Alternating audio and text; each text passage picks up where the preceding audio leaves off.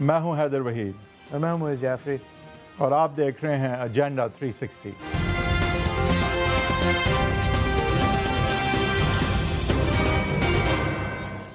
دو ہفتوں کی دھواں دار اپوزیشن کی نقطہ بہ نقطہ تنقید کے بعد ایک عمومی عوام دشمن بجٹ ہونے کے کہلائے جانے کے بعد اور پھر بلاول بھٹو زداری صاحب اور دیگر اپوزیشن ممبران کی طرف سے سلیکٹڈ پوائنٹس کے اوپر تنقید کے بعد آخرکار بجٹ پاس ہو گیا۔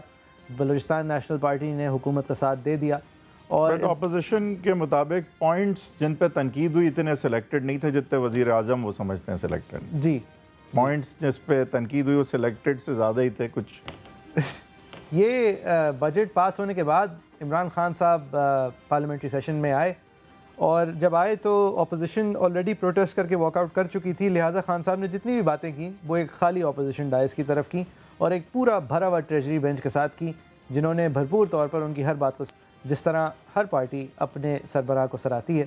لیکن خان صاحب نے اول تو مبارکباد پیش کی تمام budgetary proposal don't you think it works out perfectly for Khan sahab کہ اگر اپوزیشن وہاں ہوتی تو جو ریزسٹنس ان کو ملتی ہے ان کی سپیچ کو ملتی ہے اور یہ ذرا آسانی سے ڈیریل بھی ہو جاتے ہیں۔ ہم نے دیکھا جو پہلی سپیچ انہوں نے پارلیمان میں ایز پرائم منسٹر دی تھی۔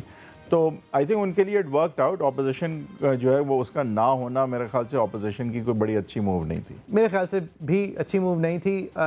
اس کے پیچھے آپ رہے میدان میں تنقید کریں۔ اس کے پیچھے میرے خیال سے خورشید شاہ صاحب کو بولنے نہ دینے کا جواز پیدا کیا گیا تھا۔ بٹ بہرحال اگر یہ دکھانا تھا کہ بجٹ جو ہے وہ سٹیم رول کیا جا رہا ہے تو کامیاب ہوئے۔ لیکن اگر ایکچولی اپوزیشن کرنی تھی خان صاحب کی، تو پھر ناکام رہے، جس طرح وحید صاحب نے اشارہ دیا۔ خان صاحب، مبارکباد دیتے ہوئے۔ آج کہ بڑا، میں اپنی ساری ٹیم کو بڑا مبارک دیتا ہوں۔ میں اپنی ساری پارلیمنٹری ٹیم، پارٹی کو بڑا مبارک دیتا ہوں۔ کہ جس طرح انہوں نے یہ بجٹری سیشن میں پارٹیسپیٹ کیا، جس طرح کی تقریریں تھیں۔ میں اپنے ایلائز کا شکریہ ادا کرنا چاہتا ہوں۔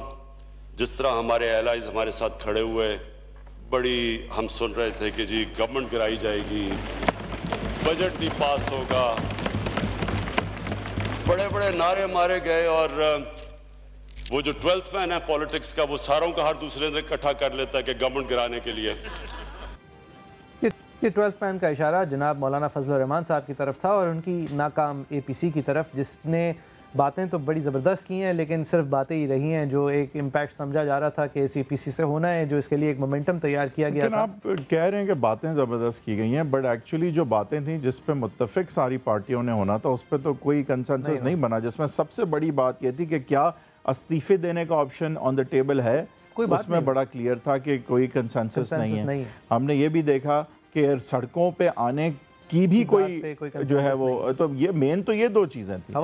باقی باتیں بھی ہوا میں ہی ہیں رابر کمیٹیز بن رہی ہیں فیصلے کرنے بٹ دیکھیں شروع ایسے ہی ہوتا ہے۔ اب یہ پہلی میٹنگ ہوئی ہے۔ لیکن وحید صاحب جس طرح کا امپیکٹ ایک یا تو آج ملے ہوتے اور پھر تہیہ کیا ہوتا کہ منظم طور پہ ایک مہینے بعد ملیں گے۔ لیکن ایسا تو نہیں تھا۔ پہلے سے تہیہ ہو گیا تھا کہ منظم طور پہ ایک تقریباً ماہ بعد ملیں گے۔ تو یعنی کہ ایک حتمی کوئی نہ کوئی یہ نظر جو چیز نظر آنی چاہیے تھی وہ یہ تھا کہ بیک گراؤنڈ ڈپلومسی اتنی ہو چکی ہونی چاہیے تھی کہ کنسنسس اگر کسی چیز پہ تھا تو سامنے آتا اور اگر نہیں تھا۔ تو کانٹرڈکشنز نہیں سامنے آتی عمران خان صاحب نے اپنے آپ کو سلیکٹڈ کہنے پر جو کہ بلاول بھٹو زداری صاحب نے ایک ٹرینڈ شروع کیا تھا جس کو پھر اسپیکر صاحب نے حذف بھی کر دیا تھا پارلیمنٹری ریکڈ سے اور اس لفظ کو بین بھی کر دیا تھا۔ خان صاحب نے اس کا جواب دیا خالی اپوزیشن بینچز کو۔ بڑی بات ہوئی سلیکٹڈ پرائم منسٹر کی۔ وہ جو تقریر مراد سعید نے کی تھی، جس میں انہوں نے جو وہ کوڈا لیزا رائس کی کتاب سے کوٹ کیا تھا۔ Condoleezza Rice secretary of state تھی۔ اس کی اپنی بایوگرافی میں وہ کہہ رہی ہے کہ کس طرح اس نے پیپلز پارٹی کے سربراہ اور جنرل مشرف جو ملٹری ڈکٹیٹر تھا، ان کو اکٹھا کیسے کیا گیا؟ کیسے کرپشن کے کیسز مشرف کو کہا گیا کہ معاف کرو؟ اور مل کے انہوں نے این آر او سائن کروایا امریکنز نے۔ اور اس نے یہ بھی کہا کہ ہمارے انٹرسٹ میں ہے کہ یہ ان کا سمجھوتا ہو، کیونکہ یہ ہمارے انٹرسٹ پروٹیکٹ کریں گے پاکستان میں۔ وہ آج سلیکٹڈ کی بات کر رہے ہیں۔ اور ادھر سلیکٹڈ کی بات کر رہے ہیں، جن کو مینوفیکچر کیا تھا ملٹری ڈکٹیٹرشپ کی نرسری میں۔ خان صاحب، بہت عمدہ طریقے سے اپنے آپ کو سلیکٹڈ کہنے کے جواب میں باقی سب لوگوں کو بھی ایک زمانے میں سلیکٹڈ کہہ پا رہے ہیں بڑی کامیابی سے۔ لیکن اس بات کا جواب نہیں دے رہے کہ وہ آج باقیوں کی رائے میں سلیکٹڈ کیوں نہیں ہیں۔ جس کا کہ جواب جو ہے دینے میں کم سے کم مشکل نہیں ہونا چاہیے کیونکہ he should side to the people the vote count اور ایک جو طریقہ کار موجود ہے اگر الیکشن میں دھاندلی ہوئی ہے، اس کو ایجیٹیٹ کرنے کا آئین میں موجود ہے، تو وہ جس نے ایجیٹیٹ کیا ہوا ہے، وہ فیصلے کا ویٹ کرے، جس نے نہیں کیا ہے، اس نے فارگو کر دیا، وہ رائٹ تو کہنے کو وہ اپنی سلیکٹ نہ ہونے کے حوالے سے باتیں کر سکتے تھے۔ ظاہر ہے وہ انہیں یہ اوائڈ کرنا پڑتا کہ سدن پنجاب میں الیکٹیبلز نے کس طرح پی ٹی آئی کو الیکشن کے قریب کیسے جوائن کر لیا اس چیز کو اوائڈ کرتے ہیں اوبیسلی لیکن یہ باقی باتیں عوام پہ ڈال کے یہ بات تو کرتے کہ وہ کیوں سلیکٹڈ نہیں ہیں۔ لیکن انہوں نے بات یہ کی کہ آپ کو یاد ہے آپ کتنے سلیکٹڈ ہیں۔ اور شہباز شریف صاحب کے لیے خاص طور پر خان صاحب کی تنقید تھی۔ یہ کمال اس اسمبلی میں ہوا ہے۔ بڑی فراخ دلی ہے، ہم یہ سب جو یہاں بیٹھے ہوئے ہیں کہ ہم نے یہ اجازت دے دی اور آپ نے بھی اسپیکر صاحب اجازت دے دی کہ وہ لوگ جن کے اوپر الزام ہے پبلک کے پاسا چوری کرنے کا، وہ اس اسمبلی میں آگے تقریریں کیسے کر سکتے ہیں؟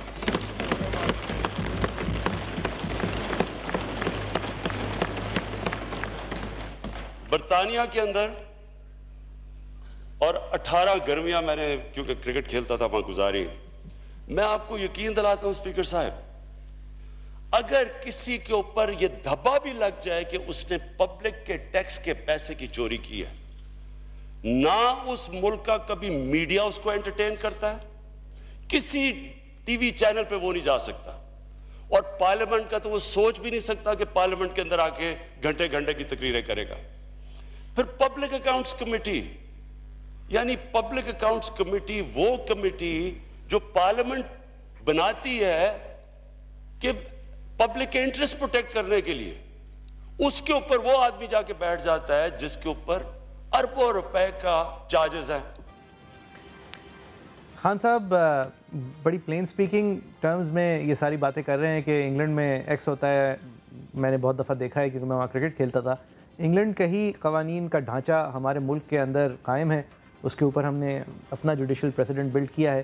اس کی ایک بنیاد ہے کہ آپ جب تک کہ مجرم قرار نہ دیے جائیں تو آپ ملزم ہوتے ہیں آپ معصوم ہوتے ہیں آپ کو جواب دینا ہوتا ہے لیکن آپ معصوم ہوتے ہیں۔ شہباز شریف صاحب کے خلاف جتنے بھی دھماکے دار اور وزن دار الزام ہوں خان صاحب نے خود بھی اس کا اظہار کیا کہ وہ الزام ہے رہی بات ان کے بھائی کی طرف تو وہ لیکن اس سے پہلے کہ آپ اگلے ٹاپک پہ جائیں دیکھیں ویسٹ میں کیونکہ میچور ڈیموکریسیز ہیں یہ نہیں ہوتا اور اسٹیٹ اور جو سسٹمز ہیں وہ اس چیز کی اجازت نہیں دیتے کہ کوئی حکومت جو آئے اور نہ ایسا ہوتا ہے روایت بھی نہیں ہے کہ پچھلی حکومت کے سارے لوگوں پہ کیسز بن جائیں۔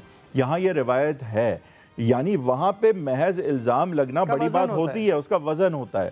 ہمارے ہاں تو ہر ایک الزام لگ جاتا ہے۔ اب میں یہ نہیں کہہ رہا کہ جن پہ الزام ہاں، لگتا ہے وہ انسنٹ ہوتے ہیں۔ یہ نہیں کوئی کہہ رہا۔ لیکن الزام لگے آپ کے اوپر اور نواز شریف صاحب پہ الزام جو لگا تھا کہ انہوں نے کرپشن کیا ہے وہ ثابت نہیں ہوا تھا۔ یہ میں نہیں کہہ رہا کہ انہوں نے کرپشن نہیں کی خدا نخواستہ۔ لیکن میں صرف یہ کہہ رہا ہوں کہ وہ آج جیل میں اس لیے ہیں اس لیے ان کے اساسہ جات جو ہیں ان کا ان کے پاس خاطر خواہ جواب نہیں ہے۔ لیکن نواز شریف صاحب کے بارے میں بات کرتے ہیں خان صاحب اس حوالے سے جواز پیدا کرتے ہیں۔ ٹھیک کہہ رہے ہو۔ شہباز شریف صاحب۔ نہیں لیکن شہباز شریف صاحب کے حوالے سے یہ کہنا کہ انہوں نے پبلک منی چوری کیا ہے وہ ان کے اوپر ابھی تک ایٹ بیسٹ الزام ہے جس چارج ہی کہا انہوں نے خان صاحب نے لیکن جی۔ وہ جس طرح سے چارج کہہ رہے ہیں وہ ویسٹرن ڈیموکریسی میں جی۔ نہیں بیٹھے ہوئے یہاں پہ چارج بڑے آرام سے لگ جاتا ہے اور کسی کو اگر سیاست سے باہر اس بہانے یا اس بنیاد پہ رکھنا ہم شروع کر دیں کہ اس پہ ایک چارج ہے تو پھر تو بڑے آرام سے یہاں اپوزیشن کا صفایا ہو جائے گا اچھا کسی بھی اپوزیشن کا کبھی بھی خان صاحب نے اب ہم ہم جو اس سیگمنٹ کے اندر بات کریں گے وہ جو حاضر حکومت نے فیصلے کیے ہیں معیشت کے حوالے سے اس پر دیں گے تو خان صاحب نے شہباز شریف صاحب نے جو ڈالر کی اونچی اڑان کے اوپر خان صاحب پر تنقید کی، اس کا اس طرح جواب دیا۔ ایک بڑی دکھ بھری تقریر کی اپوزیشن لیڈر شہباز شریف نے۔ انہوں نے کہا جی روپیہ گر گیا ہے اور سارا ہمارے اوپر الزام ڈال دیا۔ قیمت اس لیے گری ہے کہ اس گورنمنٹ کو پاکستان کی تاریخ کا سب سے بڑا خسارہ ملا۔ جس کو کرنٹ اکاؤنٹ ڈیفیسٹ کہتے ہیں، ساڑھے انیس ارب ڈالر کا خسارہ ملا۔ میں صرف آج یہ ضرور کہنا چاہتا ہوں کہ بہت بڑی وجہ منی لانڈرنگ ہے۔ اس ملک میں ڈالرز کی کمی کی وجہ، اس ملک کی جو رولنگ ایلیٹ نے اس ملک سے پیسہ باہر بجوایا اس کی بہت بڑی وجہ۔ اور پیسہ اس لیے باہر کیا اس ملک سے کیونکہ جب صاحب اقتدار اس ملک سے پیسہ چوری کر کے باہر لے کے جاتے ہیں تو پھر کسی کو نہیں روک سکتے۔ فیملی کا پچھلے جو کمپنیز بنی ہیں اور یہ جو چیزیں سامنے آئی ہیں، یہ کس منہ سے کوئی بات کر سکتا ہے ڈالر کے اوپر؟ ذمہ دار تو یہ لوگ ہیں کہ یہاں سے پیسہ باہر لے کے جا رہے ہیں۔ اب یہاں پر میرے لیے ایک ورینگ سائن ہے۔ اور ایک میرے خیال سے میں خان صاحب سے متفق ہوں کہ جب آپ پر الزام لگا ہو اتنے سارے پیسے باہر لے جانے کا اور وہ ایسٹس آپ کے ہوں بات یہ ہو رہی ہو کہ وہ ایسٹس آپ کے بچے کے ہیں، آپ کے والد کے ہیں، تو آپ بات کرتے ہوئے ذرا محتاط ہوتے ہیں ڈالر کی اڑان کا منی لانڈرنگ کے حوالے سے خاص طور پہ جب الزام لگایا خان صاحب نے۔ میرے لیے لمحہ فکریہ اس لیے اس لیے کہ خان صاحب کو یہ باتیں پارلیمان میں آنے سے پہلے بہت سارے لوگوں نے کہیں تھیں۔ آپ کو مراد سعید صاحب کا یاد ہوگا، دو سو ارب ڈالر ہمارے باہر ہیں آ جائیں گے، سو ارب آئی ایم ایف کے منہ پہ ماریں گے اور سو ارب آپ کے اوپر لگائیں گے اور ہریالی ہر طرف ہوگی۔ دیکھیں، یہ نمبرز غلط ہیں۔ یہ نمبرز مینوفیکچرڈ نمبرز ہیں ایسٹیمیشنز ہیں۔ یہ بات صحیح ہے کہ ہماری رولنگ ایلیٹ نے بہت سارے پیسے چوری کیے ہیں۔ یہ بات بھی صحیح ہے کہ انہوں نے پھر تاریخی طور پر وہ پیسے باہر بھیجے ہیں۔ یہ بات بھی صحیح ہے کہ the fish rots from the head جس طرح خان صاحب ہمیشہ کہتے آئے ہیں، اور یہ لوگ کوئی نہیں ہوتے یہ باتیں کرنے والے۔ لیکن یہ بات صحیح نہیں ہے کہ اس پیسے کا کیا حجم ہے۔ اور کیا پاکستان کی معیشت کی آج علالت اس وجہ سے ہے کیونکہ یہ پیسے امیر لوگوں نے صاحب لوگوں نے چوری کر لیے۔ جی۔ یہ بات زیادہ مشکل بات ہے یہ ہضم کرنا لیکن پاکستانی معیشت کا یہ حال اس لیے ہے اس لیے ہم صحیح جگہ ٹیکس نہیں لگاتے۔ جہاں ٹیکس لگاتے ہیں وہاں سے ٹیکس وصول نہیں کرتے۔ ہم اپنے امیر لوگوں کو ٹیکسیشن پالیسیز کے اوپر دخل اندازی کرنے دیتے ہیں، اس حد تک کہ وہ پھر اپنے آپ کو ٹیکس نہیں ہونے دیتے۔ ہم امیر سیکٹرز کو دخل اندازی کرنے دیتے ہیں اور ہم امپورٹ زیادہ کرتے ہیں اور ایکسپورٹس کم کرتے ہیں۔ اسی ان تمام بیسک بنیادی وجوہات کی وجہ سے ہماری معیشت کمزور ہے۔ یہ ایک شارٹ کٹ ہے۔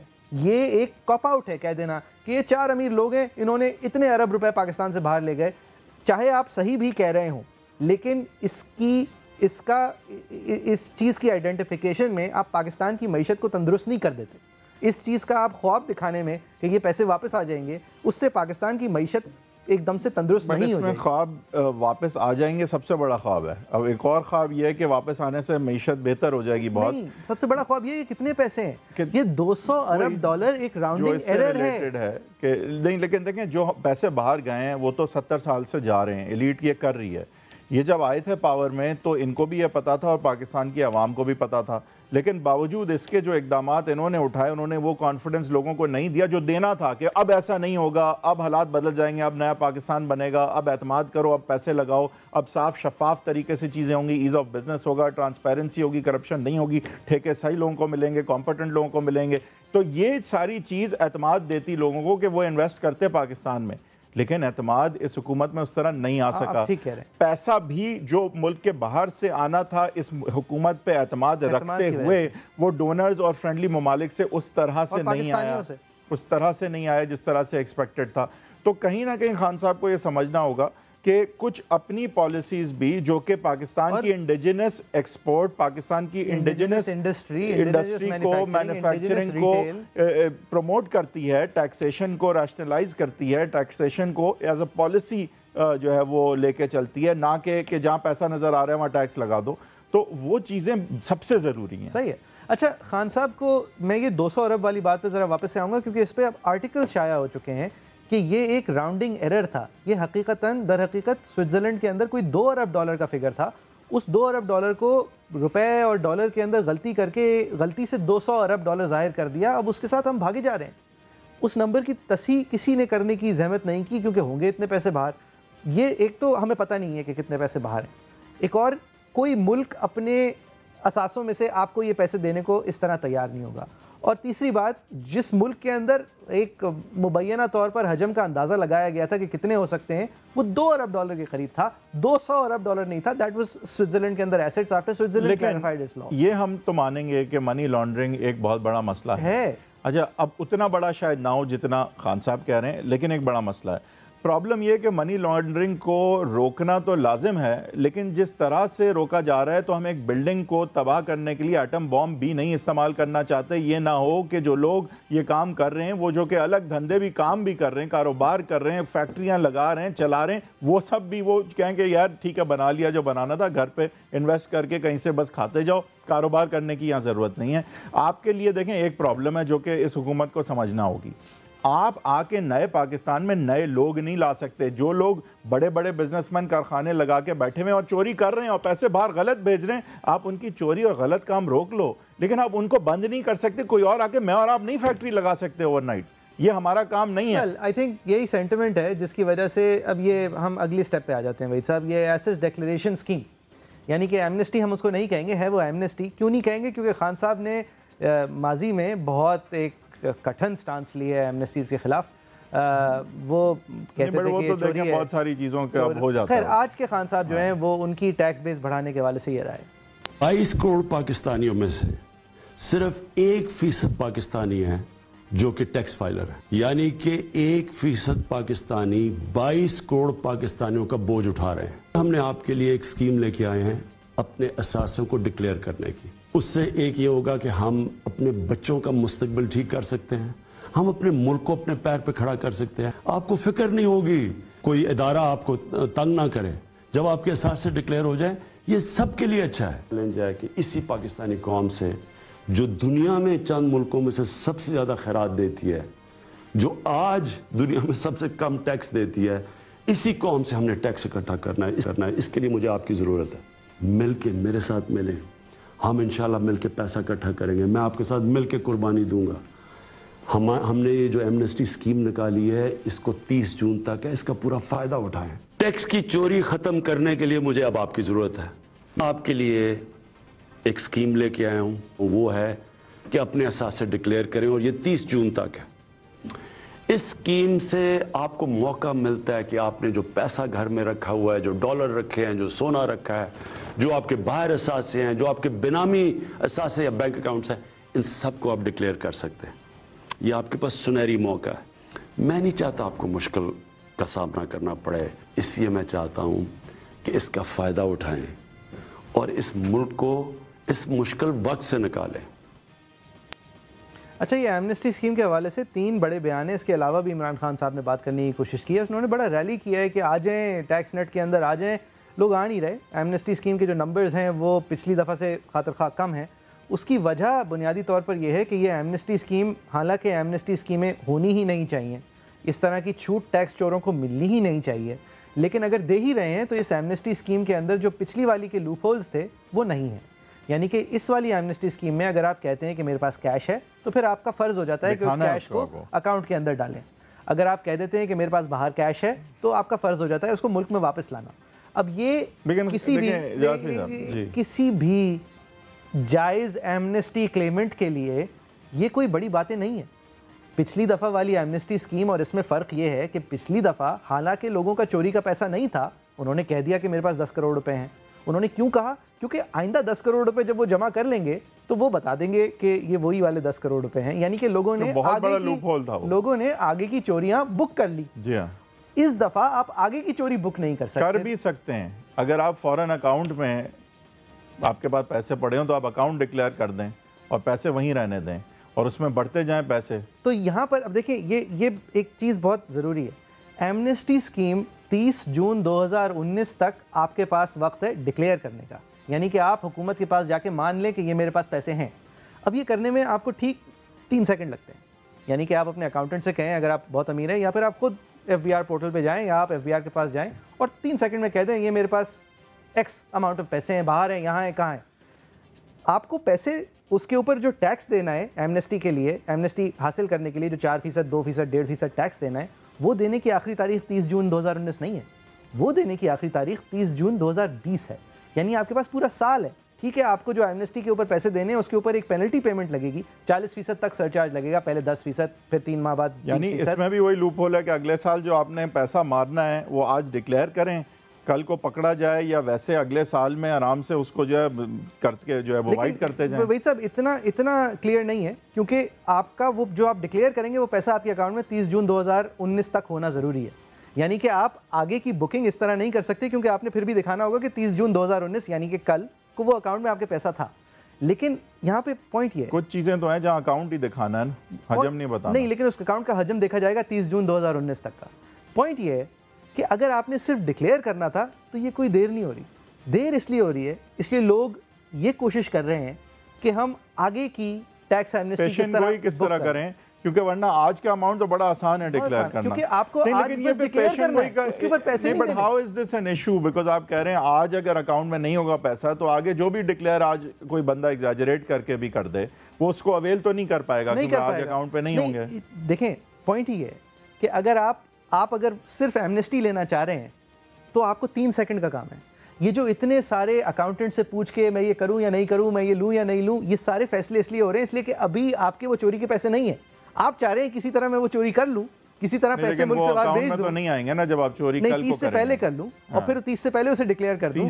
کیونکہ تیس کے بعد تک آپ اس کے اوپر ٹیکس تو دے سکتے ہیں۔ میں ایک اور چیز سمجھتا ہوں ڈکلیئر نہیں کر سکتے۔ میں ایک اور چیز سمجھتا ہوں کہ آپ نے تو ایک بات کر دی کہ یہ ٹیکس ایمنسٹی جو ہے ایز این ایمنسٹی زیادہ لیجٹ ایمنسٹی ہے جہاں پہ لوپ ہولز کم ہیں۔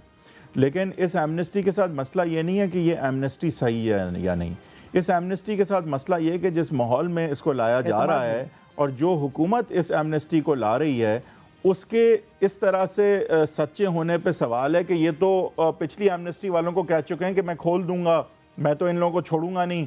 تو اس طرح کی نہیں میرے خیال سے وحید صاحب یہ بھی ایک وجہ ہے لیکن زیادہ وجہ یہ ہے خان صاحب نے خود بھی کہا پاکستانیوں کا ایک سینڈ یہ جو ہوتا ہے نا ایمنسٹی اس میں دیر از دیٹ کانسیپٹ کہ آگے بڑھنے کا پھر ہوتا ہے کہ بھائی چلو پچھلا سب بھلا دیا پچھلے پہ اب کچھ نہیں ہو سکتا اب آگے بڑھیں گے۔ کیونکہ اب ہم ڈاکیومنٹ ہو جائیں گے بہتر میں کہہ رہا ہوں کہ یہاں پہ تاخیر آگے بڑھنے سے زیادہ پچھلی اکاؤنٹیبلٹی کا ڈر ہے لوگوں کو۔ لوگوں کو صرف یہ ڈر ہے کہ کتنا سچ بولیں۔ کیونکہ جو انسان پورا سچ بولنے پر راضی ہے جس کے لیے یہ ایمنسٹی سکیم آئی ہے کہ تم آج تک چور تھے آئندہ چور نہیں ہونا اس کو سچ بولنے میں تین سیکنڈ لگیں گے۔ کیونکہ اس کو پیسے دینے کے لیے ابھی ایک پورا سال پڑا ہے اس کو صرف سچ بولنا ہے۔ لیکن اس وقت کیا ہو رہا ہے؟ خان صاحب نے خان صاحب کا یہ خیال۔ اس ایمنسٹی سکیم کو میری اور میری پارٹی مسترد کرتی ہے۔ ہماری پاکستانیوں کی ایک مینٹیلٹی ہے کہ ہم آخری وقت پہ سب کچھ کرتے ہیں۔ اب ایک دم پریشر آ گیا ہے۔ لوگ اب کہہ رہے ہیں کہ ہم اس کا ایسٹ ڈیکلریشن کا فائدہ اٹھانا چاہتے ہیں۔ اس کے لیے اب میں سوچ رہا ہوں کیونکہ میں، مجھے بھی اب پریشر پڑا ہوا ہے کہ اتنے لوگ لوگ کہتے ہیں جی ٹائم بڑا کم آ گیا، ہم ہم ہم رجسٹر ہونا چاہتے ہیں۔ میں نے ابھی، آ بھی رہے ہیں، شبر زیدی بھی اس پروگرام میں ہوں گے۔ اور ڈاکٹر حفیظ شیخ بھی۔ تو میں ابھی دونوں سے ڈسکس کر رہا تھا کہ اب ہم کون سا طریقہ اختیار کریں کہ کسی طرح لوگوں کے لیے آسانی ہو رجسٹر کر لیں اور تیس کی جون کی ڈیٹ کے بعد بھی وہ پھر اس کا فائدہ اٹھا سکیں۔ تو اس کے اوپر اب ہم اگلے اٹھتالیس گھنٹے میں کوئی پروگرام لے کے آئیں گے۔ جی دیکھیں ابھی خان صاحب کے لیے اور وفاقی حکومت کے لیے مفت مشورہ ہے۔ خان صاحب جو چاہ رہے ہیں کہ وہ صرف رجسٹر ہو جائیں اور پھر تیس جون کے آگے بھی پیسے دے سکیں، وہ قانون میں موجود ہے۔ خان صاحب، اگر یہ چاہتے ہیں کہ ابھی محض وہ آ کے کہہ دیں کہ میں نے یہ چوری کی تھی اور پیسے اس کے بعد میں دیتے رہیں، وہ قانون میں ابھی بھی اجازت ہے۔ خان صاحب کی اگر یہ غلط فہمی ہے کہ لوگ اس لیے نہیں ڈکلیئر کر رہے کیونکہ ان کے پاس ابھی وہ پیسے نہیں ہوں گے ٹیکس سرچارج دینے کی، تو یہ غلط ہے۔ لوگ اس لیے نہیں ڈکلیئر کر رہے، اس لیے وہ اس قانون کے اندر لوپ ہولز ڈھونڈنا چاہ رہے ہیں۔ وہ چاہ رہے ہیں کہ اپنی آگے کی چوری کس طرح بک کریں یا پیچھے کی چوری مکمل طور پہ دکھانی نہیں پڑے۔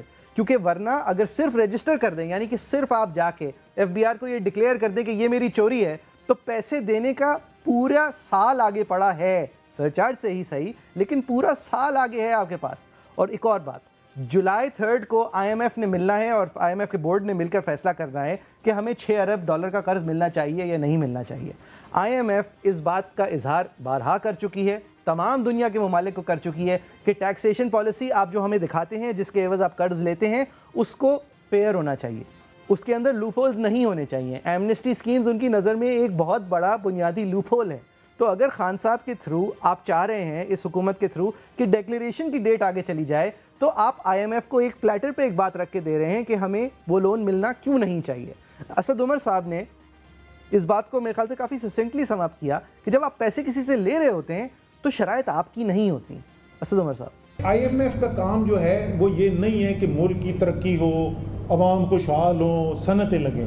یہ ہماری زیادتی ہے اگر ہم ان سے اس بات کی توقع رکھتے۔ ہیں یہ ہمارا کام ہے۔ وہ تو اس لیے آ رہے ہیں کہ جی آپ اپنا جو سو ارب ڈالر کا قرضہ لے کے بیٹھے ہوئے وہ آپ واپس کرنے کی صورتحال میں نہیں ہے۔ لوگ بولتے ہیں ڈیفالٹ کے قریب آ گئے تھے یہاں کاروباری لوگ بیٹھے ہوئے آپ کو پتا ہے۔ کہ ڈیفالٹ ہو چکا تھا۔ یہاں پہ کتنے لوگ بیٹھے یہاں پہ کوئی میرے خیال میں ایک کمپنی بھی ایسی نہیں ہوگی جو ایل سی کھلوا کے پیمنٹ کے لیے جائے تو اسٹیٹ بینک بولے کل پرسوں اگلے ہفتے دو مہینے بعد بڑی بڑی ملٹی نیشنل کے ڈویڈنڈ روکے ہوئے کیوں؟ کیونکہ آپ کے پاس ڈیفالٹ ہو چکا تھا حقیقت میں اناؤنس نہیں کیا تھا۔ تو آئی ایم ایف تو اس لیے آتی ہے۔ جس دن آپ اپنے پیسے خود کمائیں گے تو اس دن آپ فیصلے خود کریں گے۔ جس وقت تک پیسے کسی اور کے پاس سے آئیں گے تو پھر اس کی سننی پڑتی ہے۔ تو وہی صاحب میرے خیال میں یہ ایک بنیادی کیس ہے مس انفارمیشن کا خان صاحب از ناٹ انفارمڈ ان کو یہ بتایا نہیں ہے کہ ابھی صرف ڈکلیئر کرنا ہے۔ جس چیز کو وہ رجسٹریشن کہہ رہے ہیں ابھی کرنا ہی وہ ہے صرف۔ پیسے بعد میں جا کے بھی دے سکتے ہیں۔ پورا سال پڑا ہے آگے۔ یہ بات ٹھیک ہے لیکن وہ ایک بات اور ٹھیک کہہ رہے ہیں کہ ہماری جو ہے نا جنرلی ایکسپیکٹیشن ہوتی ہے جس طرح کہ ٹیکس کے ریٹرنز فائل کرنے کی ڈیٹ میں توسیع ہوتی ہے تو اس میں بھی ہوگی۔ اور اسی طرح سے پلاننگ جو ہے وہ بہت سارے لوگوں کی چلتی ہے۔ یہ بات آپ کی صحیح ہے کہ اس وقت جو اصل ایم ہے وہ اس ایمنسٹی کا کہ یہ لوگ ڈاکیومنٹ ہوں۔ تو انہیں یہ بھی سمجھنا چاہیے کہ جو فائل کرنے جا رہے ہیں ایمنسٹی میں، ان کا اصل ایم کیا ہے؟ ان کا اصل ایم یہ ہے کہ اگر تو آگے پکڑائی ہی ہونی ہے ایک تو یہ ضروری ہے سٹک تو پھر میری آج تک جو میں نے ٹیکس چوری یا جو کچھ کیا ہے، وہ بات جو ہے وہ کمپلیٹلی چھپ جائے اور اس کو استعمال کبھی نہ کیا جا سکے۔ طور پر مستثنا ہو جائے۔ آئندہ کے لیے کبھی استعمال نہ کیا جا سکے۔ میرے خیال سے یہ کانفیڈنس جو ہے اس ریلیشن شپ میں خاص کر جو بڑے بزنس مین ہیں اور حکومت میں یہ ٹرسٹ ڈیفیسٹ ہے اس ٹرسٹ ڈیفیسٹ کو شبر زیدی صاحب نے کہا تھا کہ وہ جو ہے وہ پر کریں گے اور یہ بڑی وجہ وہ سمجھتے ہیں کہ ٹیکس کی ریکوری میں یہ حائل ہے۔ بات کہ لوگ بھروسہ حکومت پہ نہیں کرتے۔ اور حکومت سارے جو بزنس مین ہیں، ان کو چوٹ سمجھتی اور شبر زیدی صاحب کی طرف سے یہ کلیریفیکیشن پچھلے ہی گھنٹے میں آئی ہے کہ اس ٹیکس ایمنسٹی اسکیم میں کوئی توسیع نہیں ہونی۔ یہ کوئی اس کے اندر ڈیلے نہیں ہوگی، کوئی ایکسٹینشن نہیں ہوگی۔ یہ اس لیے اس لیے کہ وفاقی وزراء ہی اب سے چند گھنٹوں پہلے تک یہ کلیم کر رہے صرف اس اسکیم کے اندر توسیع ہو جائے گی۔ بلکہ اس اسکیم کی توسیع کے بعد یہ ٹرمز بھی ریلیکس ہو جائیں گے کہ آپ کو پیسے ڈکلیئر کر کے اکاؤنٹ میں ڈالنے ہیں۔ ایسا ایسا کچھ نہیں ہے۔ جبر زیدی صاحب زیدی صاحب کے مطابق۔ آپ کی کیا رائے ہے؟ Facebook dot com sixty eight agenda three sixty سما ہمارا ٹویٹر ہینڈل ہے۔ ایک بریک بریک کے بعد پھر حاضر ہوتے ہیں۔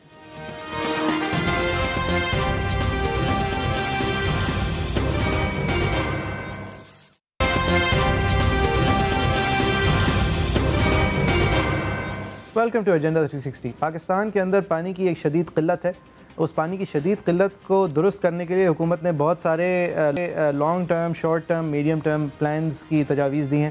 Small dams hydro power projects بہت ساری چیزیں جو توانائی کی بھی انرجی کی بھی قلت اور پانی کی بھی قلت دونوں کو ایڈریس کرنے کی کوشش ہے۔ اس کوشش میں ہم ایک حد تک ناکام رہے ہیں۔ اور اس ناکامی کی وجہ سے جناب سابق chief justice of Pakistan, Saqib Nisar sahab نے ایک اپنے تئیں اس معاملے کو لیتے ہوئے ڈائمر بھاشا ڈیم اور مومن ڈیم بنانے کی رسپانسبلٹی ذمہ داری اپنے اوپر لی اور کچھ اس طرح لی کہ انہوں نے اویرنس کریٹ انہوں نے ڈیم بنانی اچھا ان کو ہمارے چیف جسٹس صاحب حالانکہ نہ اکاؤنٹنٹ تھے اور نہ میکرو اکانومسٹ تھے لیکن ان کو یہ پتا تھا کہ صرف ڈائمر بھاشا ڈیم بنانے کے لیے ہی چودہ ارب ڈالر کی ضرورت ہوگی۔ اور ان کا خیال یا ان کے جو مشیر تھے، ان کا خیال تھا کہ یہ چودہ ارب ڈالر جو ہیں، وہ جمع ہو جائیں گے۔ پھر ایک وقت آیا کہ جب عمران خان صاحب نے سوچا کہ میرے کہنے پہ تو جمع ہو ہی جائیں گے، میں تو پاکستان کا اول نمبر کا فنڈ ریزر ہوں چیریٹی جمع کرنے میں۔ لہٰذا یہ ایک مشروط پھر عمل ہو گیا۔ اور چودہ ارب ڈالر یعنی کہ اس وقت ایک سو تیس روپے کے ڈالر کے حساب سے اٹھارہ سو بیس ارب روپے جمع کرنے کے لیے چیف جسٹس آف پاکستان صاحب نے یہ فنڈ بنایا۔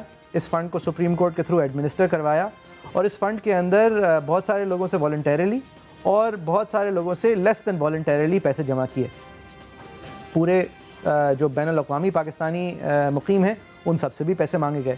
اور بینکس کو اور دیگر بڑے اداروں کو ان کے اوپر یہ فرض سونپ دیا گیا کہ آپ اس فنڈ کی تشہیر کے اندر پیسے خرچ کریں۔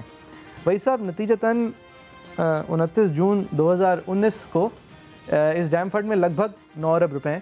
اس کی تشہیر پر تیرہ ارب روپے خرچ ہو چکے ہیں۔ اور اور جس ڈیم کو بنانے یہ فنڈ نکلا تھا، اس ڈیم کی فنڈ کی پہلے دن اٹھارہ سو بیس ارب روپے اگر لگ بھگ لاگت تھی، تو آج کے ایک سو ساٹھ روپے کے ڈالر کے حساب سے بائیس سو چالیس ارب روپے لاگت ہے۔ یعنی کہ چار سو ارب روپے ہم نگیٹو میں۔ دیکھیے، تھوڑا سا ہمیں کیئرفل رہنا چاہیے، کیونکہ ایک طرف یہ بات بھی درست ہے کہ جب ثاقب نثار صاحب چیف جسٹس تھے تو ظاہر ہے ہم اس طرح کی کوئی بات نہیں کر سکتے تھے۔ بالکل ٹھیک ہے۔ عموماً یہ اس لیے ہوتا ہے کیونکہ جج کے آپ کام پہ اثر انداز بھی نہیں ہو سکتے دوسرا جج آگے سے آپ کو جواب بھی نہیں دے سکتا۔ اب کیونکہ وہ جج نہیں ہیں تو ایٹ لیسٹ وہ جواب اس چیز کا دے سکتے ہیں۔ ایک اور وجہ اس تنقید کی شاید یہ ہے کہ یہ کبھی بھی جج کا کام نہیں تھا جب وہ چیف جسٹس تھے جب بھی نہیں یہ تو میرٹ پہ آپ کی تنقید ہے نا؟ نہیں وہ میرٹ پہ آپ کی تنقید ہے آپ ضرور کریں۔ اور آپ کی تنقید بجا ہے۔ لیکن میرا یہ کہنا ہے کہ تھوڑا ہمیں اس چیز کو بھی ڈیفرنس دینا چاہیے کہ ایک زمانے میں کیونکہ وہ چیف جسٹس رہ چکے ہیں اور آج اب ان کے پیچھے سے پڑ جائیں تو تھوڑا ہمیں اچھا۔ لیکن لیکن لیکن اب آپ کی بات جو میرٹ پہ ہے وہ بالکل یہ سوال اٹھتا ہے اور آج چونکہ وہ جواب دے سکتے ہیں۔ آج وہ کنسٹرینڈ نہیں ہے ایز اے جج ہی از ناٹ اے جج اینی مور تو اس ان سے اگر یہ پوچھا جائے کہ اس اویرنس کا کیا ہوا یا اس میں کتنے اس اس ڈیم فنڈ کا کیا ہوا؟ یہ پوچھا گیا نا؟ یہ پوچھا گیا۔ تو یہ پوچھا جا سکتا ہے۔ نہیں نہیں پوچھا گیا۔ اسی لیے ہم یہ سیگمنٹ آج کر رہے ہیں کہ ان سے یہ پوچھا گیا تو ثاقب نثار صاحب نے ایک لٹریچر فیسٹیول میں کیا کہا؟ ثاقب نثار صاحب سے جب پوچھا گیا کہ نو ارب روپے ہیں، تیرہ ارب روپے صرف تشہیر پہ خرچ ہو چکے ہیں، تو ان کا جواب تھا کہ ہمارا کبھی مقصد ہی نہیں تھا ڈیم بنانا یا ڈیم کے بنانے کو مکمل کرنا۔ ہمارا مقصد تھا کہ اس ایک بنیادی پاکستانی مسئلے کو، جو کہ ہماری پانی کی قلت ہے ایک مسئلہ، اس کے حوالے سے اویئرنیس پیدا کرنا ہمارا ہمارا فرض سمجھا ہم نے۔ اور ہم اس لیے آگے بڑھے تھے۔ وہی سر۔ دیکھیں، اس میں اگین وہی بات اٹھتی ہے کہ اس وقت جب ڈیم کی اتنی ساری بات ہوئی، تو ظاہر ہے کہ ان کی اپنی کریڈیبلٹی ڈیم سے جڑی اور ڈیم کی وجہ سے لوگوں نے ان کو اور بہتر طرح سے دیکھا۔ تو ایک طرف جو ان کے ڈیسیجنز تھے، جو لوگوں کو شاید پسند نہیں آ رہے ہوں یا آ رہے ہوں، کچھ کو پسند آتے تھے، کچھ کو نہیں، تو جن کو نہیں پسند آتے تھے، ان کی تنقید کا بھی ایک جواب ہی ہوتا تھا، دیکھو کتنے اچھے کام کر رہا ہے، کتنے بڑے کام کر رہے ہیں۔ تو اس لیے یہ سوال ضرور اٹھتا ہے کہ یہ جو ڈیم کے حوالے سے کام تھا تو یہ کیوں کیا جا رہا تھا جب فیزیبل بالکل بھی نہیں تھا کہ اچھا، کرنا؟ اب آج ہمیں جو فگرز پتہ ہیں جی۔ اس کے بعد میں تو لے پرسن ہوں مجھے تو یہ فیزیبلٹی آپ نے نو ارب روپے جمع کیے ہیں۔ ہماری پاک فوج نے ایک ارب روپے کے لگ بھگ دیے تھے اس ڈیم فنڈ میں۔ بہت سارے بڑے بڑے اداروں نے بہت سارے دنوں کی محنت بہت سارے بینکس کے امپلائیز نے اپنی ایک ایک دن کی تنخواہیں دی تھی کیا ان کو یہ پتا تھا کہ وہ اویئرنیس کے لیے پیسے دے رہے ہیں؟ کیا ان کو ان کو یہ پتا تھا کہ وہ ایک اویئرنیس کیمپین اصل میں ڈیم نہیں بنا رہے اصل میں صرف اویئرنیس پیدا کر رہے اس پہ صرف میں یہ کہوں گا کیونکہ اگین میں اس چیز کو بالکل اوائڈ کرنا چاہتا ہوں کہ جب کسی کے بارے میں آپ ایک زمانے میں کچھ نہیں کہہ سکتے تھے اب ایک دم سے سب کہنے لگیں لیکن یہ بات ایک سوال ضرور اٹھتا ہے کہ اس وقت ان کو یہ خیال کرنا چاہیے تھا کہ یہ دن پھر آئے گا کہ لوگ اس طرح کے سوال کریں گے۔ اور اچھا، جب یہ دن آئے گا اور لوگ اس طرح کے سوال کریں گے تو یہ صرف نہیں اور یہ صرف پھر ان کی ذات کی بات نہیں رہ جاتی اور اس کی ذمہ داری ان پہ ہے۔ مجھے ایک اور سوال۔ ہے ابھی خبر ہے اس ہفتے کہ تین مزید اچھا، یہ بات کلیئر کر لیں کہ یہاں کوئی امپروپرائٹری کی بات نہیں کر رہا فائنینشیل یہ کوئی بات نہیں ہے لیکن اس اس سمجھداری کو ضرور ہم سوال اٹھا رہے ہیں کہ اس طرح کے ڈیم فنڈ کو بنانے کے پیچھے جانا اس منصب کے شخص کے لیے صحیح تھا یا نہیں تھا؟ اس کے پیچھے لیکن اگین میں اس میں بہت زیادہ ڈیلو نہیں اچھا، کرنا چاہ رہا کیونکہ I want to show respect for the fact that he once was the chief justice. جبکہ اب آپ کو پتا ہے کہ آپ کے نو ارب روپے کیونکہ وہ ملک سے باہر جائیں گے ڈیم کے کنسٹرکشن کے آلات لینے کے لیے تو آپ کے جو نو ارب روپے جمع ہو گئے ہیں وہ بھی لگ بھگ اب سات ارب رہ گئے ہیں کیونکہ وہ ڈالر جو خریدیں گے وہ اس کے کم ڈالرز ملیں گے۔ جبکہ آپ کو یہ پتا ہے تو پھر اس ہفتے اخبارات میں یہ خبریں کیوں آ رہی ہیں کہ مزید ڈیم کے لیے کلیکشن پروگرامز جو ہیں وہ لیک آف پاپولیرٹی کی وجہ سے ان کو ڈیلے کر دیا گیا ہے۔ اب کیوں کلیکٹ ہو رہا ہے ڈیم فنڈ نہیں اب اس لیے کلیکٹ ہو رہا ہے کیونکہ ابھی بھی ضرورت تو ہے نا فنڈز کی۔ اویئرنیس کی؟ نہیں اویئرنیس کی بھی ضرورت ہے اور فنڈز کی زیادہ ضرورت ہے۔ لیکن جب اب آپ مان رہے ہیں کہ ہم ڈیم ان پیسوں میں نہیں بنا پائیں گے ڈیم فنڈ کے بانی یہ بات مان رہے ہیں۔ ایک سیکنڈ ایک سیکنڈ دیکھیں اگر آپ نہیں بھی بنا پائیں گے لیکن آپ کا فنڈ اویرنس کریٹ کر سکتا ہے اور اس کی فیزیبلٹی ہے یعنی کہ جو آپ مارکیٹنگ اور دیگر چیزوں میں خرچ کر رہے ہیں اویرنس کریٹ کرنے کے لیے وہ فنڈ اس سے زیادہ تو آئیں کم سے کم۔ آپ نے جو ہمارے پاکستان میں کام کرنے والے محنت کرنے والے لوگوں سے پیسے لیے اس فنڈ کے لیے اور پاکستان سے باہر محنت کرنے والے لوگوں سے پیسے لیے اس فنڈ کے لیے آپ نے ان سے کہا تھا کہ میں اویئرنیس کریٹ کرنے کے لیے آپ سے پیسے لے رہا ہوں یا کہا تھا کہ آپ ڈیم بنانے کے لیے پیسے لے رہا ہوں؟ دیکھیں اس میں عمران خان صاحب نے اپنا نام بھی کیوں لینڈ کیا؟ کیا did he was it because ظاہر ہے اس وقت ثاقب نثار صاحب چیف جسٹس تھے اس لیے لینڈ کیا اپنی کریڈیبلٹی کو اپنی فنڈ ریزنگ کو بھی اس کے ساتھ ہو گیا۔ دیکھیں یہ سارے سوال اٹھنے نہیں یہ ہو چاہیے۔ گیا۔ آپ مجھے بات بتائیں۔ اب اب کیوں پیسے جمع ہو رہے ہیں؟ اس لیے جمع جب ہو آپ رہے ہیں۔ پتہ ہے آپ کو کہ پورے نہیں جمع ہو پائیں گے۔ جتنے بھی ہو سکیں ہے اس میں کوئی برائی نہیں ہے۔ اب تو آپ کا آدھا پونا بھی کوئی کام نہیں ہے میرا۔ یہ پرابلم نہیں ہے کہ ابھی بھی جمع ہو رہے ہیں۔ میں تو کہوں گا کہ جمع ہو تو اچھا ہے لیکن جمع ہو بھی پا رہے ہیں۔ کیونکہ اگر آپ مارکیٹنگ پہ زیادہ خرچہ کر رہے ہیں جمع کم ہو رہے ہیں تو پھر جمع نہیں ہو رہے۔ ایک بات بتائیں۔ ہاں۔ اگر میں بطور عام شہری ایک کیمپین لانچ کرتا اور بہت سارے پاکستانیوں سے ایک نیک کام کے لیے پیسے جمع کرتا اور یہ اخبار کے اندر بات آتی کہ میں نے اس تمام کام کے اندر تشہیر کے اوپر تیرہ ارب ارب روپے خرچ کر دیے اور جمع میں نے نو ارب روپے کیے۔ تو کیا ہوتا؟ بھئی اگر یہ فا... یہ فگر صحیح ہیں تو سوال تو اٹھتا ہے کہ اس میں پھر کیا دانش مندی تھی یوں اس طرح سے کرنے کی؟ اچھا ایک سیکنڈ لیکن لیکن ایک ایک سیکنڈ ایک چیز سمجھیں۔ مجھے نہیں پتا یہ یہاں بات اپلیکیبل ہے یا نہیں لیکن مارکیٹنگ میں پہلے ہمیشہ زیادہ خرچہ تو ہوتا ہے۔ لیکن پھر اس تیرہ ارب کے بعد یہاں آج تک بات نو ارب پہ نہیں رکنی چاہیے تھی اب یہ اس کو بھی نوے ارب پہ ہونا چاہیے تھا۔ ایک زمانے میں ضرور نو اور تیرہ کا فرق ہو میں سکتا۔ نیت پہ شک ہی نہیں کر رہا۔ میں صرف یہ پوچھ رہا سگاسٹی کی ہوں بات ہو رہی ہے کہ اگر میں نے یہ کیا اور یہ ہو ہوتا- سکتا ہے کہ یہ ہوا ہی اس لیے ہو کیونکہ ان کی ایکسپرٹیز نہیں تھی۔ اگر میں نے یہ کیا ہوتا تو میں آج تک چل رہا ہوتا آج تک میں مزید کر رہا ہوتا۔ دیکھیں یہ اگر مزید کرنے کی جہاں تک بات ہے مجھے ریسنٹ فگرز نہیں پتا کہ اس میں انہیں کوئی کامیابی ہوئی ہے۔ نہیں اگر تین فنکشنز پوسٹپون ہو گئے تو یہ کامیابی کی طرف تو اشارہ نہیں کرتا۔ آپ کی کیا رائے ہے؟ Facebook dot com slash agenda three six eight agenda three sixty سما ہمارا ٹویٹر ہینڈل ہے۔ ایک بریک بریک کے بعد پھر حاضر ہو۔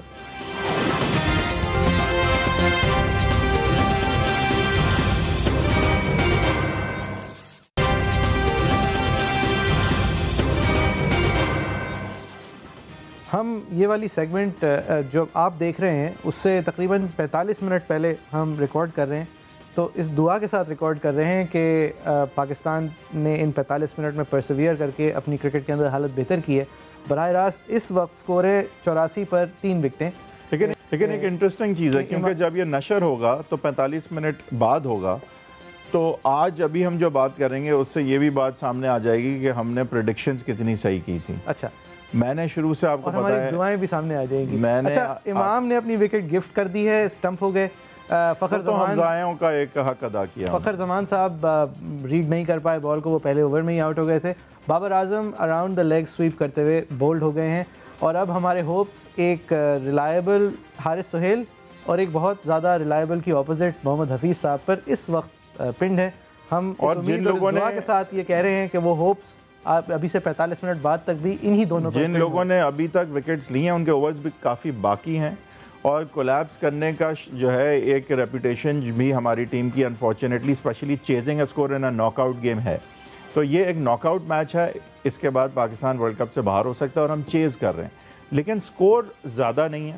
میرے خیال سے جو میری سمجھ بوجھ ہے کہ وکٹ میں بہت زیادہ ڈیمنز نہیں ہیں۔ اسپنرز نے اچھی بولنگ ضرور کی ہے۔ میں سمجھتا ہوں کہ ایک پارٹنرشپ ہوگی، یہ والی نہیں تو اگلی۔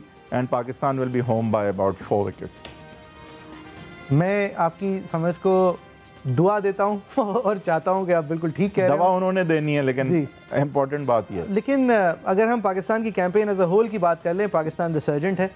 ساؤتھ افریقہ کے خلاف ایک بڑی وکٹری نیوزی لینڈ کے خلاف ایک بڑی وکٹری آج انشاءاللہ کے ساتھ اگر افغانستان سے ہم پرسویئر کر لیتے ہیں تو پھر کل لیکن مسئلہ یہ ہے نا پاکستان کی ٹیم ایسی ہے کہ آج لگتا ہے کہ جیسے ہیریڈز ہے اور پھر کل لگے گا کہ ٹھیلے والے ہیں۔ تو مطلب یہ ہے کہ یہ جو بیچنے پتہ نہیں کیا کھا کے آتے جی ہیں۔ میرے خیال سے بولنگ بہت اچھی کی ایک مناسب سکور پر انہوں نے ریسٹرکٹ کیا۔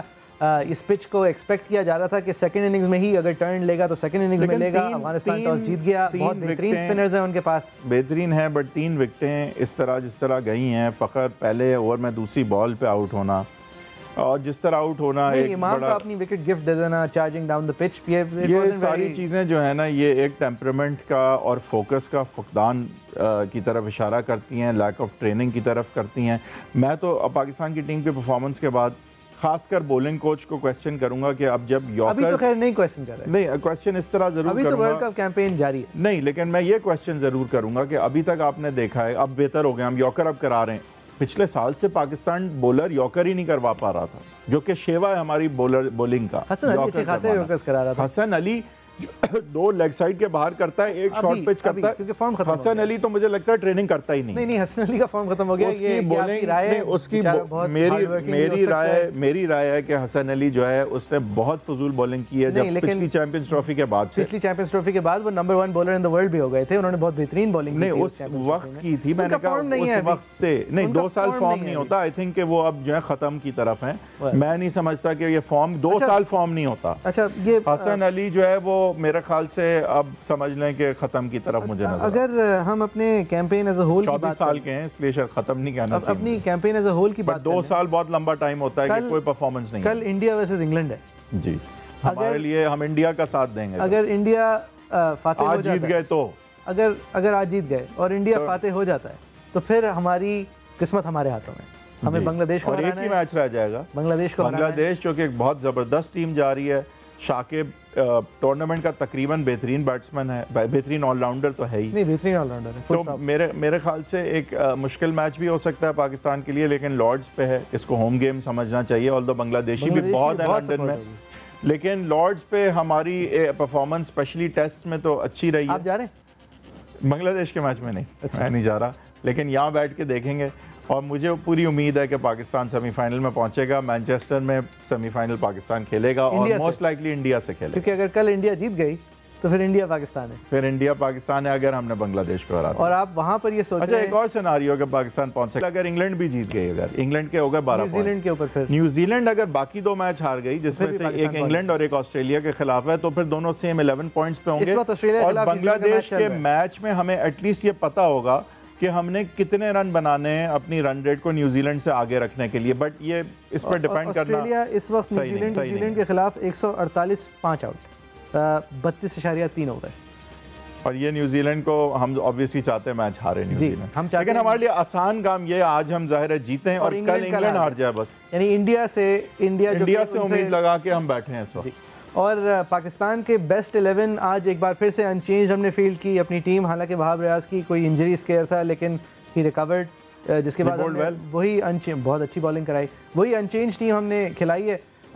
ایک بار پھر سے افغانستان کے خلاف حالانکہ اس ٹورنامنٹ کی بیسٹ ٹیم انڈیا ان کے خلاف بے انتہا مصیبت میں آ گئی تھی مشکل میں آ گئی تھی لیکن میں سمجھتا ہوں افغانستان سے اس پوائنٹ پہ ہارنا بالکل کسی قسم کا ایکسکیوز نہیں ہے۔ دو جو میچز آپ نے کھیلے ہیں، جس مومنٹم کے ساتھ آپ جا رہے ہیں، جو آپ کی اب سپورٹ بن گئی ہے، افغانستان سے ہارنے کا کوئی ایکسکیوز نہیں ہے۔ اگر سیمی فائنل میں پہنچنا چھوڑیں سیمی فائنل میں جانے سے زیادہ اگر انہیں پاکستان واپس پہنچنا ہے تو ان کو یہ ضروری ہے کہ یہ آج نہ ہاریں۔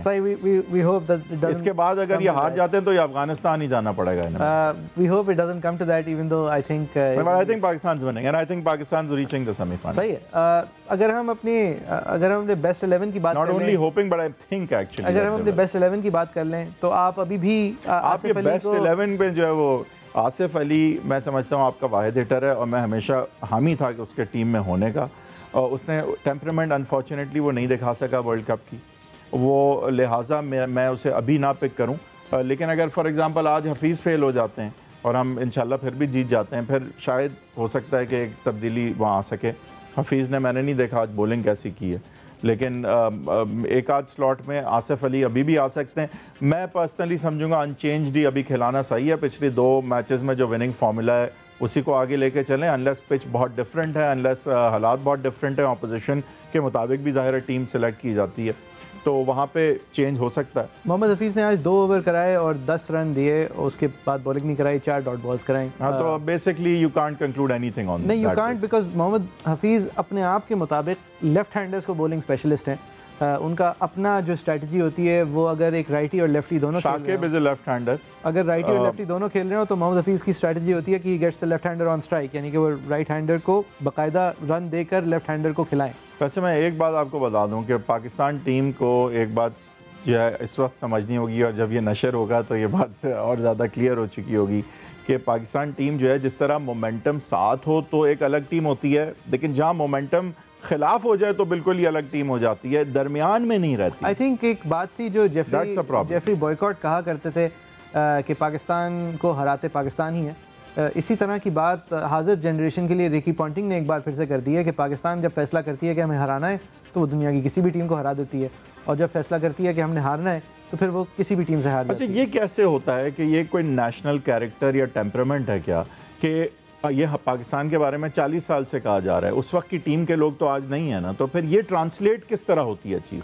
How does this get you know inherited I think ہمارے وزیر اعظم جو کہ پاکستان کے میری نظر میں گریٹسٹ کرکٹنگ سن ہیں گریٹسٹ کرکٹنگ چیمپئن ہیں انہوں نے انڈیا کے میچ سے پہلے بالکل بجا فرمایا تھا ٹویٹر پر کہ یہ گیم مینٹل اسٹرینتھ کا ہے۔ صحیح۔ یہ گیم اسپیشلی انڈیا کا میچ یہ گیم مینٹل اور میرے خیال میں آپ جو پوچھ رہے ہیں نا چالیس سال سے کیوں چینج نہیں آیا ہے آئی تھنک دیٹس اٹ کہ ایک جو یہ آسٹریلین کشش ہوتی ہے ہار نہ ماننے کی۔ لیکن مجھے ڈر یہ اس بات کا ہے کہ ایسا تو نہیں ہے کہ we are not keeping up with the technology of the sport because if you are not تو ہاکی میں جو ہمارے ساتھ ہوا ہے اللہ نہ کرے کرکٹ میں بھی ہو سکتا ہے۔ ہمیں اس کا بڑا خیال کرنا ہوگا کہ we keep up with the times about how the game is played لیکن اب تین سو پچاس کرنے کی ٹیم ہماری نہیں تھی۔ یہ ٹرینڈ ایک بن گیا تھا کہ فلیٹ ٹریک بولیز میں بھی بٹ انگلینڈ ہیڈ شون کہ now you have to make over three hundred to win a game and ہماری batting wasn't keeping up with that now we are lucky کہ دس ٹورنامنٹ پھر سے reverse میں جا کے اب ڈرائی پچز کی وجہ سے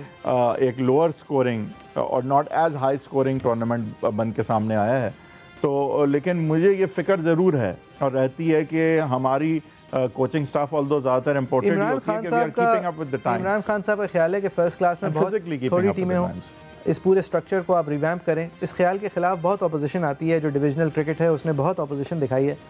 لیکن آپ مجھے معیز جعفری صاحب خود بتائیں کتنا آپ کو انٹرسٹ ہوگا حبیب بینک جب پی آئی اے کے خلاف کھیلے گا میچ کتنا انٹرسٹ ان کا بھی یہی کہنا ہے۔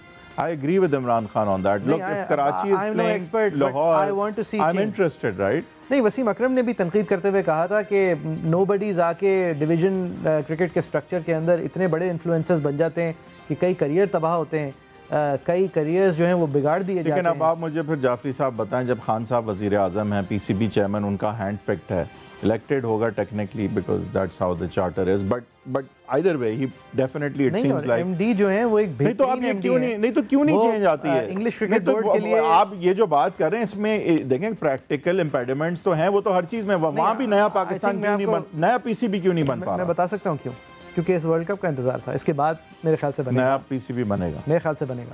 بننا چاہیے۔ میرے خیال سے بنے گا اور یہ پی سی بی کا اظہار بھی ہے کہ ہم ایک تھری ایئر ریویمپ کریں۔ اور یہ جو سمجھتے ہیں نا ڈپارٹمنٹ کی سپانسرشپ سے بغیر پیسہ نہیں ہوگا پیسہ تو ایونچولی زیادہ جب آئے گا جب لوگوں کا انٹرسٹ ہوگا۔ ابھی آپ کا لوگوں کا کوئی انٹرسٹ ہی نہیں ہے کیا ایڈورٹائز کوئی کرے گا وہاں پہ اور جو آپ کی ایک حاضر سکسیس سٹوری ہے پی ایس ایل اس کو ایز اے بزنس ماڈل بھی دیکھیں ایک زمانہ جعفری صاحب جب ویلز کا وہ سپانسرڈ ہوتا تھا یا ویلز کپ کہتے تھے ڈومیسٹک ڈپارٹمنٹس جہاں کھیلتے تھے اس وقت میں ٹی وی اس طرح نہیں تھا۔ اب ٹی وی پہ اتنے آپشنز ہیں سپورٹ کے کرکٹ کے دوسرے ممالک کے کھیلنے کوئی نہیں دیکھنے والا اس طرح کا ڈپارٹمنٹ آپ کی کیا رائے ہے Facebook dot com slash sixty eight agenda three sixty سما ہمارا ٹویٹر ہینڈل ہے۔ انشاءاللہ اگلے ہفتے ایک بار پھر Pakistan team in the cup ہوتے ہوئے انشاءاللہ پھر سے حاضر ہوں۔